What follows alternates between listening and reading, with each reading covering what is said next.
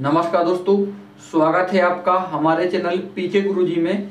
आज के अपने इस वीडियो में हम एक प्रश्न को डिस्कस करेंगे। तो हम यहाँ जिस प्रश्न की बात करेंगे, उसको पहले देख लेते हैं। तो प्रश्न हमारा क्या है? प्रश्न है कि एक कमरे की चारों दीवारों का क्षेत्रफल 220 वर्ग मीटर है। इसकी चौड़ाई तथा ऊंचाई क्रमशः 8 मीटर तथा 5 मीटर है। कमरे की लंबाई कितनी है? ठीक है? उसने कहा, एक कमरा है, जिसकी चारों दीवारों का क्षेत्रफल दिया है 220 वर्ग मीटर। ठीक है? इस कमरे की हमें चौड़ाई दी गई है 8 मीटर और ऊंचाई दी गई है 5 मीटर। हमें कमरे की लंबाई निकालना है। ठीक है?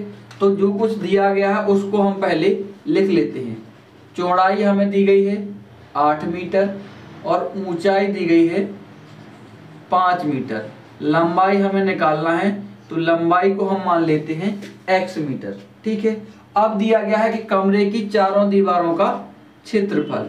तो हम लिख लेते हैं, चारों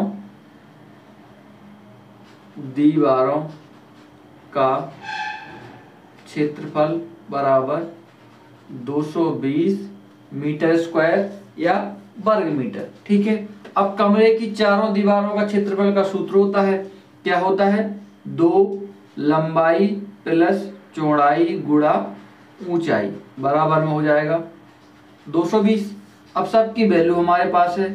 लंबाई की x है, यहाँ पर 8 है, इसकी 5 है और यहाँ 220 ठीक है? पाँच का होगा दो में गुणा तो कितना हो जाएगा?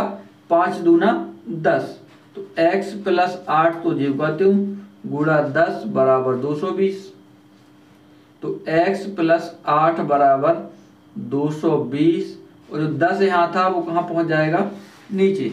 यहाँ ज़ीरो से ज़ीरो कट जाएगा। तो x प्लस आठ बराबर क्या बचेगा?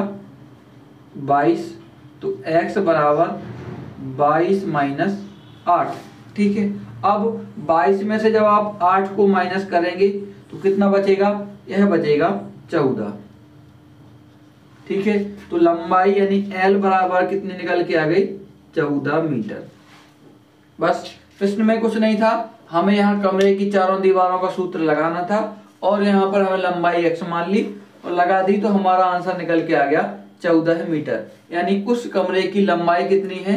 उस कमरे की लंबाई है चौदह मीटर। ठीक है?